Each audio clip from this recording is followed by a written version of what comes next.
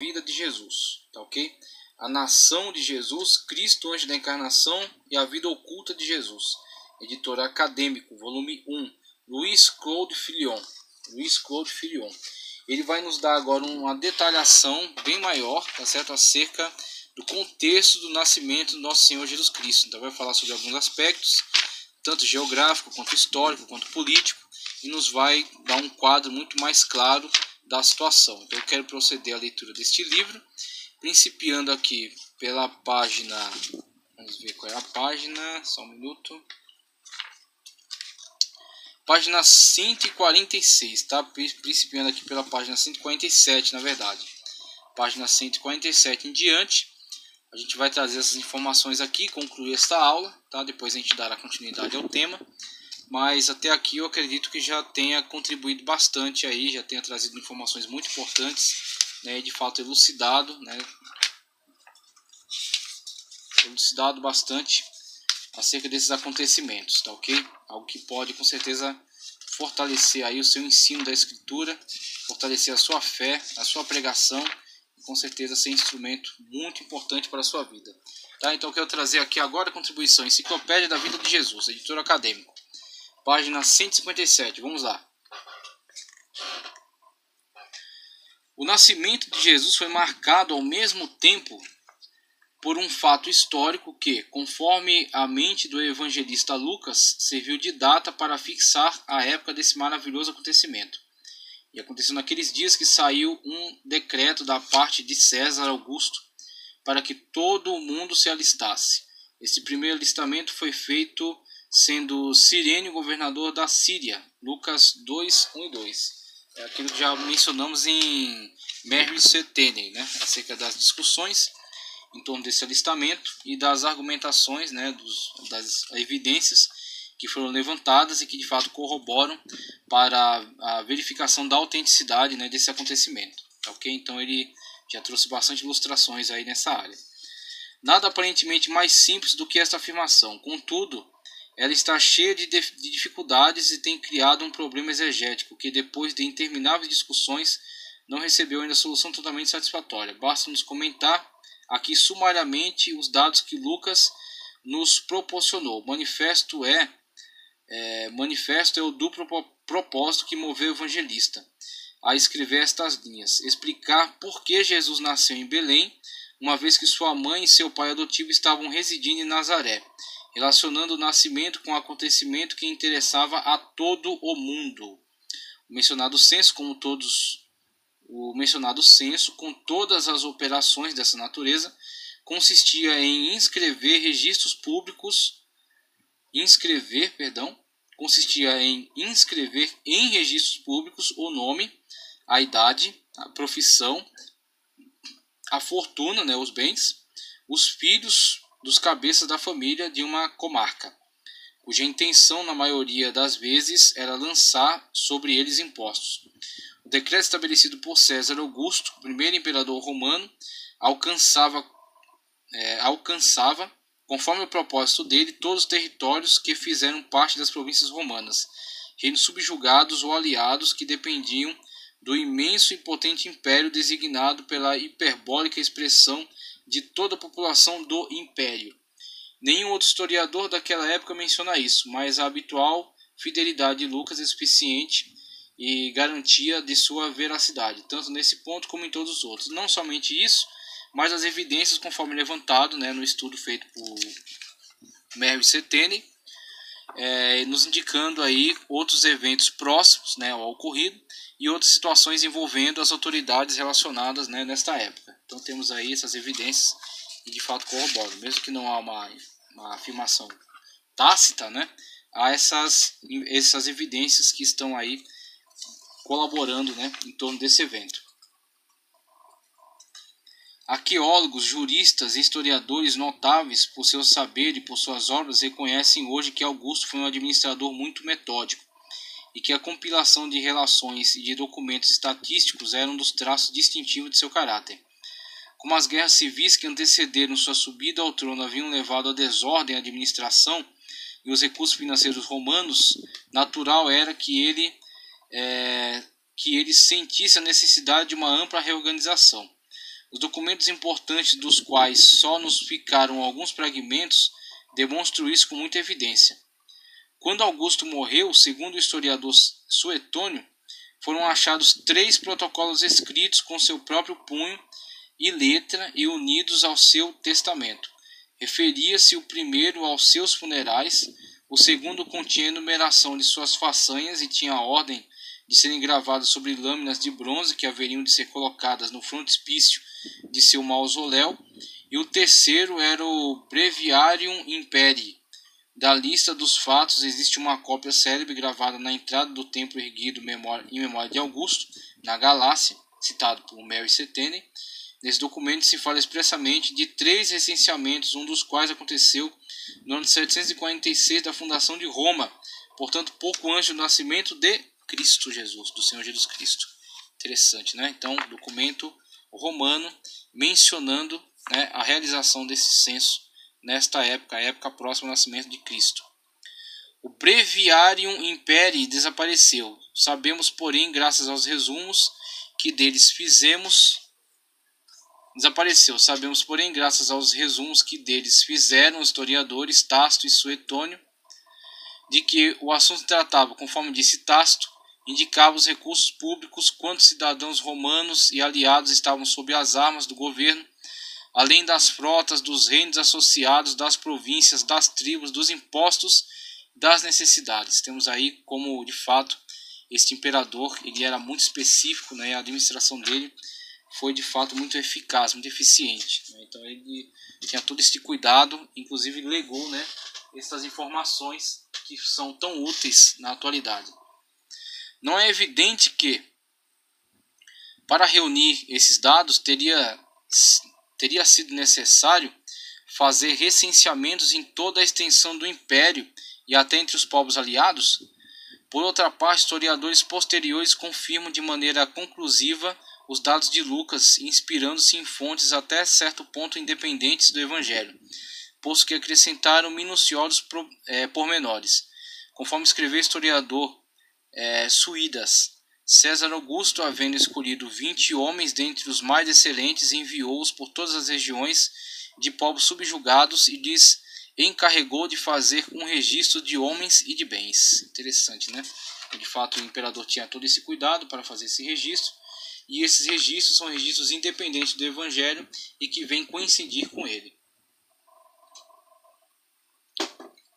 A, fi a fidelidade a seriedade com que Lucas trata as informações que ele elenca no seu evangelho, elas são assim de um poder tão grande, tão amplo, que de fato conduziram à conversão, aquele que até Mary Setene citou, é, Sir William Hansey, ok?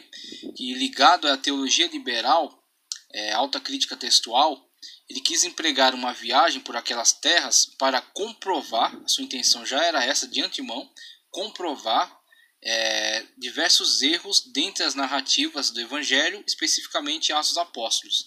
Então ele foi para lá certo de que, iria, de que iria comprovar a incongruência daquelas informações. Todavia, se viu surpreso quando, analisando o texto do Novo Testamento e analisando os locais a que se referia, pôde constatar não a incongruência, mas sim a exatidão. E diante disso, ele aprofundou a sua investigação do Evangelho, olhando agora com muito mais respeito para o texto sagrado, e futuramente pôde então se render aos pés do Senhor Jesus Cristo, aceitando como Senhor e Salvador, graças à seriedade do Dr. Lucas na tratativa dele com relação às coisas sagradas. É maravilhoso como isso é tão importante e como isso é tão essencial para nós na atualidade. Quando a igreja leva Deus a sério, quando a igreja leva a obra de Deus a sério, isso de fato muda a vida das pessoas. Veja só. Eu vou vou me adiantar um pouco aqui porque existem informações que na verdade já foram comunicadas. Veja só. Belém, aldeia ilustre na história de Israel. Conforme a profecia é, Miqueias 5:2, que Mateus lembraria, Mateus 2, 4, 5, o Messias, filho de Davi, deveria nascer em Belém, aldeia ilustre na história de Israel, porque o próprio Davi havia nascido nela e ali tinha residido tanto ele como sua família.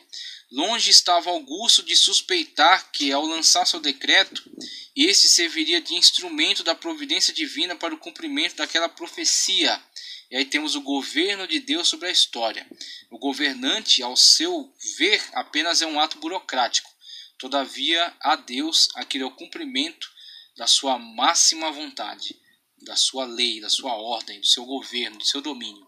Ok? Então, os governantes eles na verdade, eles muitas das vezes se levantam sob a permissão divina, mas também são abatidos debaixo de sua autoridade. Então temos aí como o decreto, né, um decreto imperial para o censo, o que para eles era mero ato burocrático, foi na verdade um meio pelo qual a profecia encontrou seu cumprimento. O filho de Deus nasceria, nasceria na cidade de Belém. Será chamado Nazareno, mas nasceu na cidade de Belém. São admiráveis os caminhos do Senhor, tanto em suas sofisticações como em sua simplicidade. Ele se serviu do édito do imperador pagão para conduzir Maria e José a fim de inserir seu filho no cenário histórico universal. Que contraste! De um lado, o chefe poderoso do Império Romano, do outro, um menino que ia nascer de uma humilde mulher de Israel em uma pobre estrebaria. Contudo, aquele menino triunfaria sobre aquele imenso império e um dia submeterá o mundo a todas as suas leis. Conforme o direito romano, quando surgia um decreto de recenseamento, era costume que cada um se inscrevesse no lugar onde residia.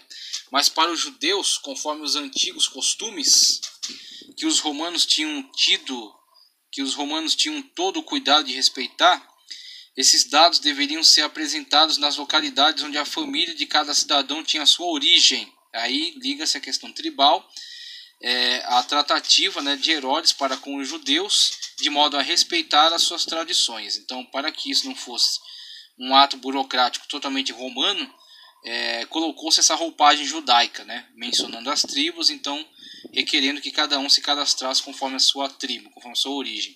Então a coisa pega uma cara mais judaica e fica mais fácil, né? Então essa é a questão. Este uso provinha da antiga constituição do povo hebreu por tribos, por famílias e por casas. Em virtude do édito imperial, quando chegava a época fixada, que não era a mesma para todos os distritos, os habitantes da Palestina que não residiam no lugar de origem de sua família iam inscrever-se cada um em sua cidade, pois nela se conservavam os registros públicos que entre os judeus eram encarados de forma muito séria e escrupulosa. Aí vide a questão da genealogia. Inclusive no retorno do cativeiro, um instrumento para comprovação de pertencimento à casta sacerdotal, à classe sacerdotal, era a genealogia, comprovação de ter uma ligação genealógica com é, a tribo de Levi, né, ancestrais na tribo de Levi. Não somente isso, mas na tribo de Zadok, né, que se tornou a tribo sacerdotal. Então, os judeus já tinham este hábito né, de preservar seus registros de origem. E subiu da Galiléia também José, da cidade de Nazaré, à Judéia, a cidade de Davi, chamada Belém, porque era da casa da família de Davi. Lucas 2,4. José pegou o caminho para subir, expressão usada para designar uma viagem para Jerusalém e seus arredores, porque de onde quer que viessem era necessário subir para chegar àquela cidade. Para José, aquela viagem era estritamente obrigatória, porque ele era da casa e família de Davi e o representante principal daquela estipe célebre, conforme nos ensina as genealogias de Cristo conservadas por Mateus e Lucas. Maria, esposa de José, acompanhou naquela longa e penosa viagem. Ela estaria obrigada a isto? Assim acreditam alguns autores. Um supõe que Maria possuía em Belém algumas propriedades que exigiam que ela mesma fosse se inscrever lá. Mas esta hipótese não justifica a dificuldade dela, que ela experimentou para achar um local onde pudesse se abrigar. Outros acreditam que a presença dela era necessária porque Maria também pertencia à família de Davi. Mas entre os judeus, as mulheres não tinham necessidade de inscrever-se diretamente. Os maridos o faziam por elas e pelos filhos.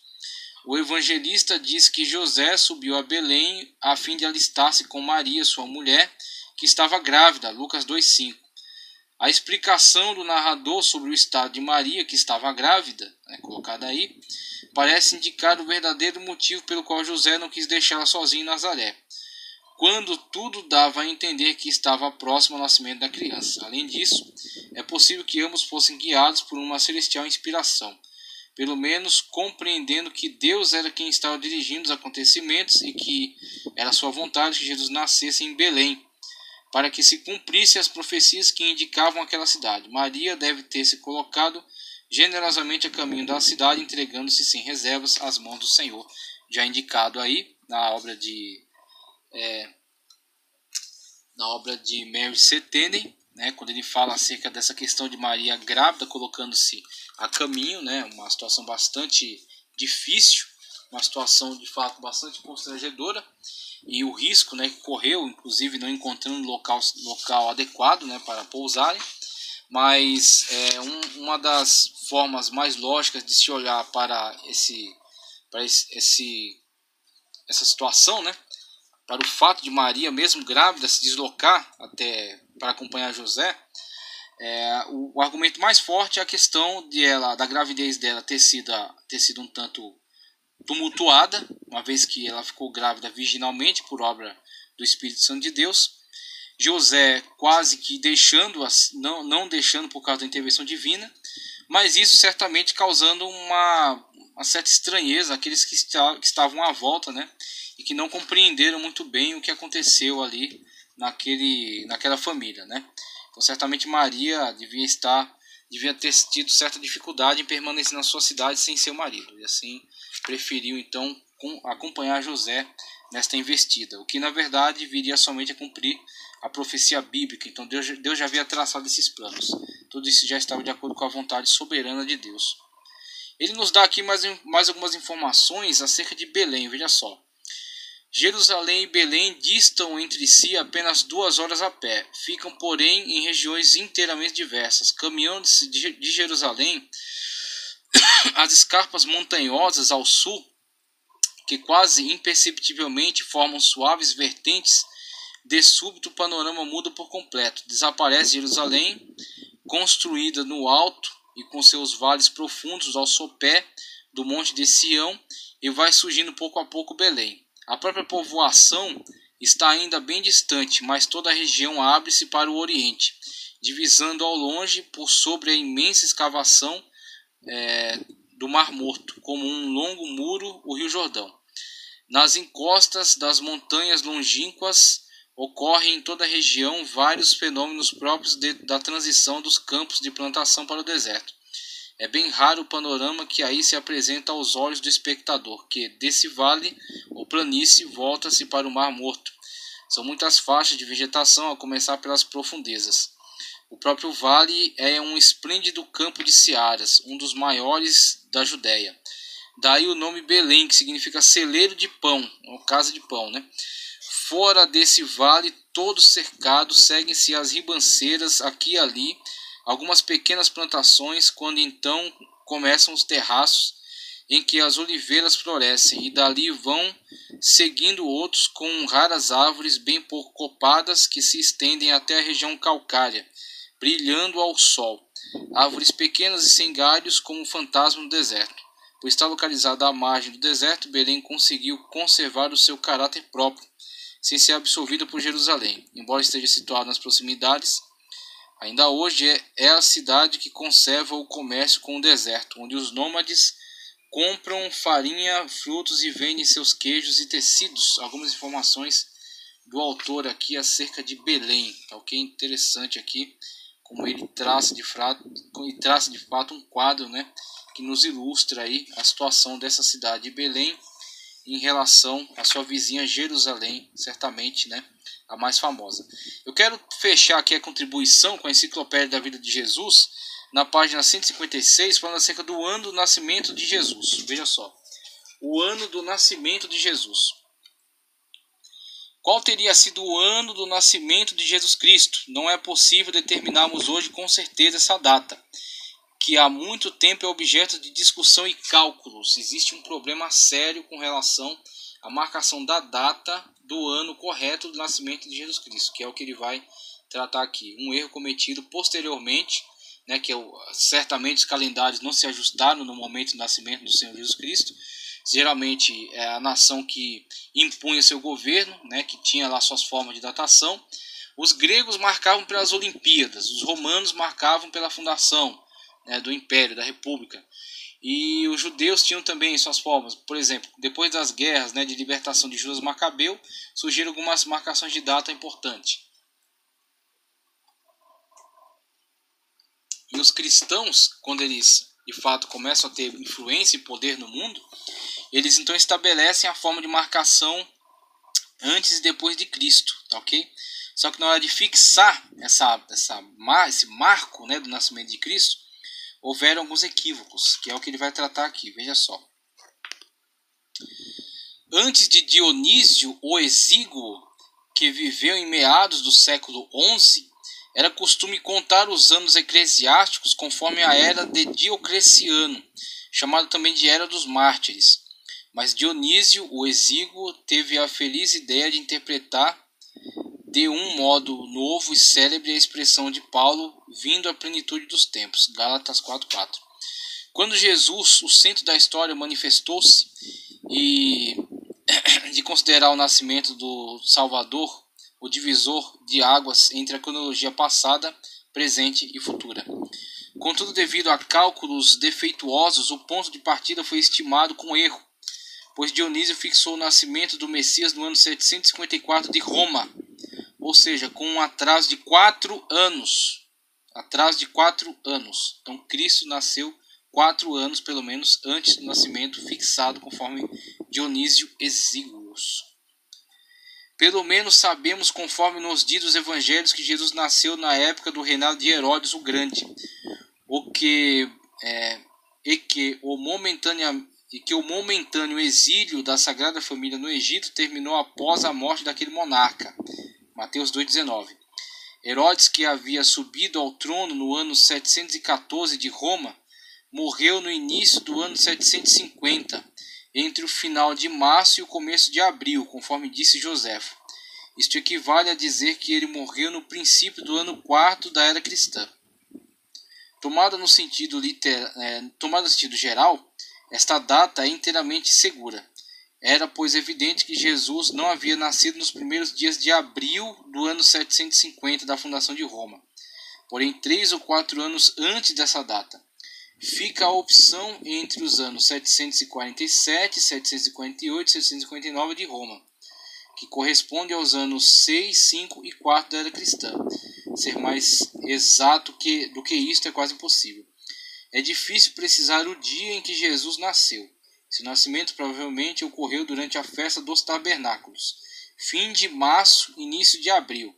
Veja, fim de março, início de abril em nosso calendário, em cumprimento à promessa de que Deus tabernacularia, habitaria no seio de seu povo. Além disso, havia pastores em vigília no campo, que era comum nessa festividade, comemorada no verão.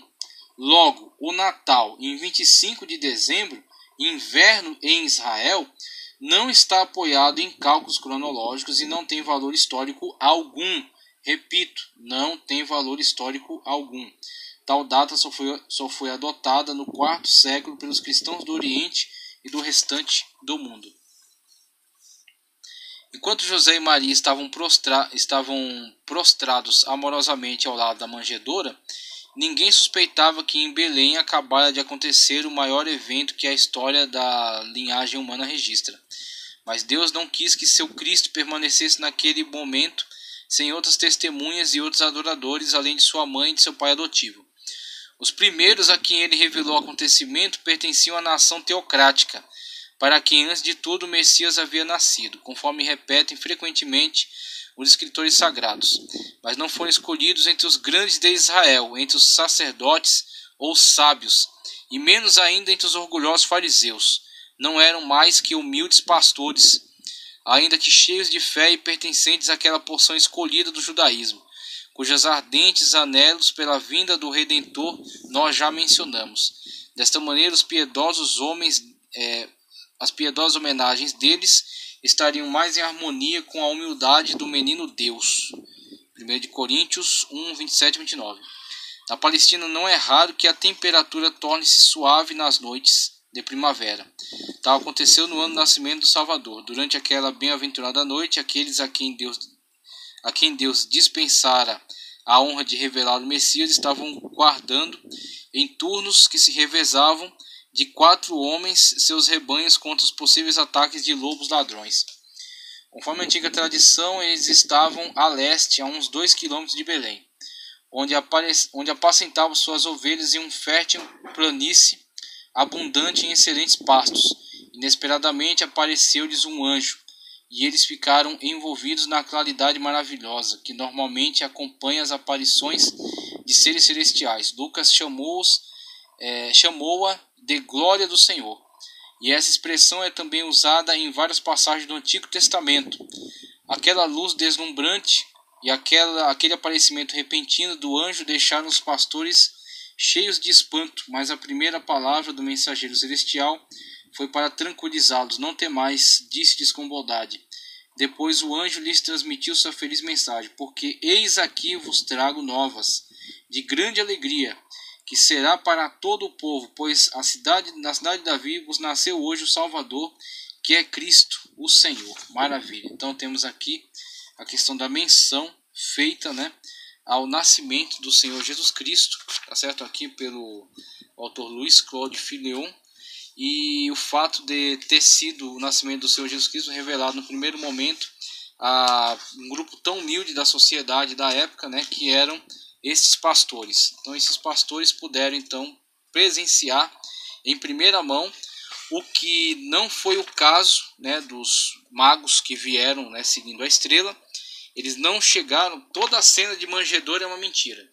Toda a cena de manjedoura é incorreta, porque ela coloca os reis magos como se apresentando ali ao Cristo nascituro no, na, na manjedoura. Então, toda cena que colocar os reis magos nessa situação ela é incorreta, da mesma forma como é incorreto o Natal celebrado em 25 de dezembro. Então, há erros né, na questão da data, que foi marcada posteriormente, provavelmente motivada né, por intenções pagãs, né, uma certa interferência política dentro da igreja. Né, então, infelizmente, houve isso é, e provocou alguns danos, por exemplo, esse. E esta cena que põe os magos junto ali na manjedoura. Eles chegaram posteriormente, quando Cristo já estava situado aí né, numa, numa casa, né, quando já estava de fato residindo numa casa, tá ok? Então depois ele vai se deslocar, vai para o Egito e quando retornar irá para a cidade de Nazaré, tá certo? Viverá, crescerá lá em Nazaré. Mas aqui os primeiros a receberem essa notícia são os pastores. E é muito interessante, de fato, é muito importante essa informação que ele nos comunica, porque você vê com quem Deus conta. Então, Deus, é, o Senhor Jesus Cristo, o nosso Senhor, ele não necessita de pessoas que venham trazer para junto de si glórias mundanas, tá certo? Então, se alguém é grande em relação ao mundo, ele tem que estar plenamente consciente de que maior do que ele é nosso Senhor Jesus Cristo e que ele não precisa dessas glórias mundanas para que possa ilustrar o seu nome, como alguns às vezes querem fazer. Quando um artista se converte, né, aparentemente se converte, quando um jogador de futebol aparentemente se converte, logo é colocado no centro, logo é colocado no palco. Isso é um grave erro. Quando o Senhor Jesus Cristo nasceu, Deus revelou o nascimento do seu Filho amado, do unigênito do Pai, aos pastores que estavam ali apacentando. Puderam eles receber a comunicação angelical e presenciar, presenciaram então, quando se deslocaram para a manjetora, o próprio Filho de Deus, o Deus encarnado, o Logos divino pré-encarnado, ali agora manifesto como ser humano. Maravilhoso, né? Deus seja glorificado aí por estas manifestações, né, da sua seu ensinamento. Eu quero, na verdade, acrescentar mais algo aqui, mais uma informação que é certamente muito importante. Tá certo que é acerca da genealogia a genealogia. Veja só, ele vai nos trazer essa informação na página 160. E a gente fecha aqui que o estudo já ficou bastante amplo. Depois a gente dá a sequência com mais outros acréscimos que a gente quer trazer. Tá ok? Mas para fechar este aqui, a genealogia. Cristo veio do Pai, João 16, 28, mas nasceu de uma mulher, Gálatas 4, 4. Já os textos proféticos expressam essa dualidade, essas duas origens.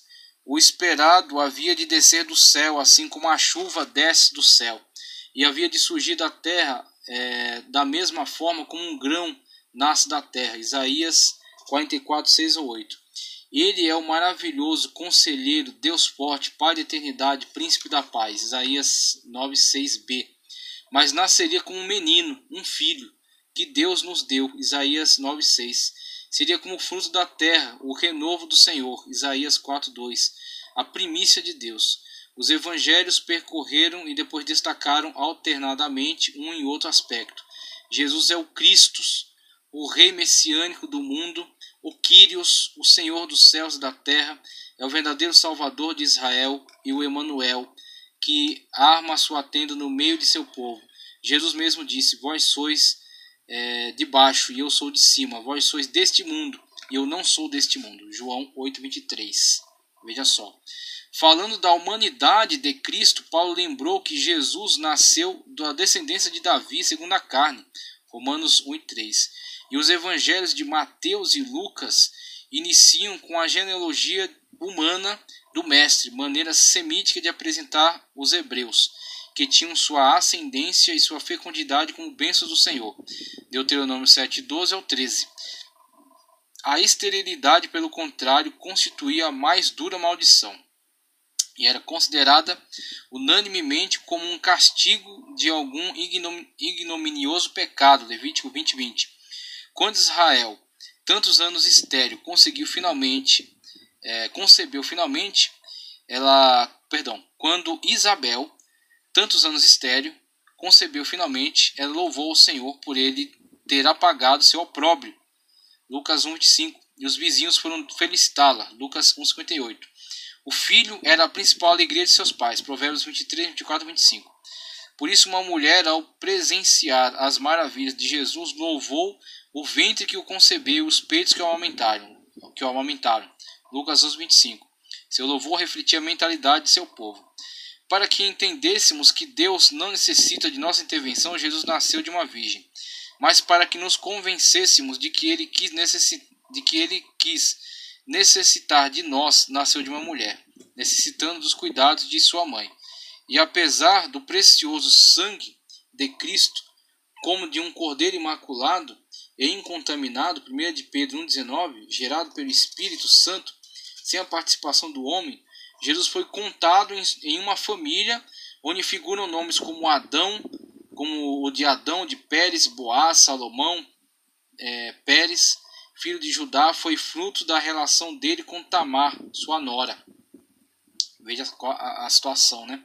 Uma situação de fato bastante é, constrangedora, né? Uma situação de fato bastante constrangedora.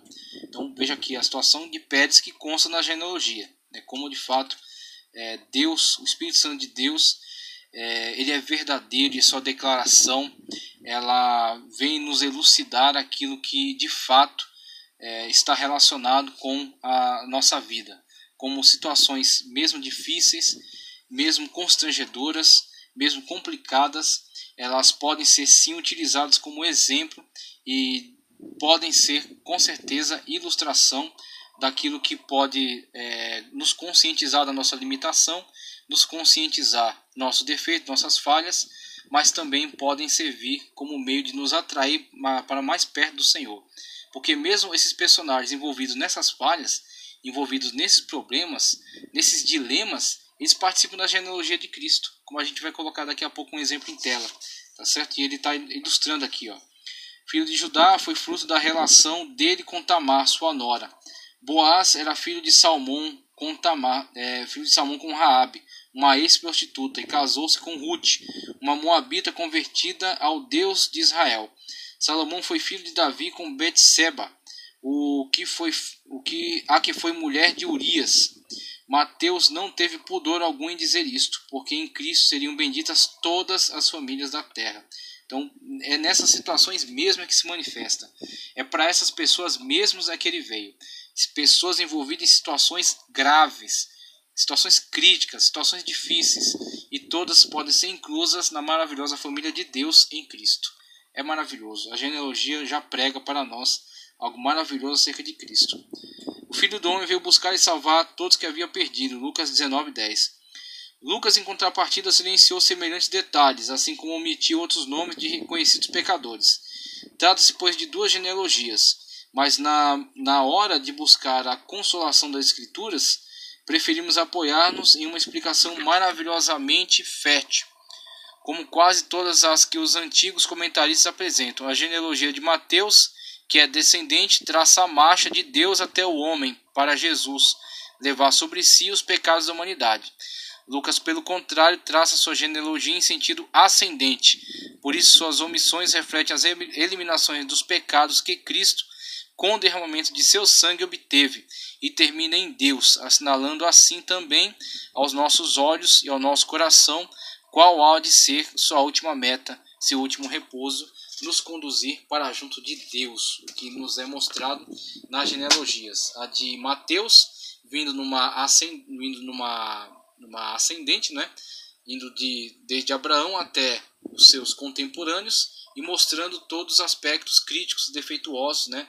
Dos seus relacionamentos. Mostrando que Cristo veio para o meio deles, veio para o que é para aqueles que necessitavam, veio como médico para os doentes. E a de Lucas, né, que traça esta rota, né, a de Mateus descendente, a de Lucas ascendente, indo aí até Deus e eliminando esses mesmos problemas, mostrando que Cristo de fato pagou por esses erros e nos conduz, só Ele pode nos conduzir para junto de Deus. Tá certo? E aí já trouxe essas contribuições e em tela temos aí uma nessa questão da genealogia, as duas apresentadas aí, tá? E esse texto que nos fala aí acerca da importância dessas informações, dessas genealogias. A genealogia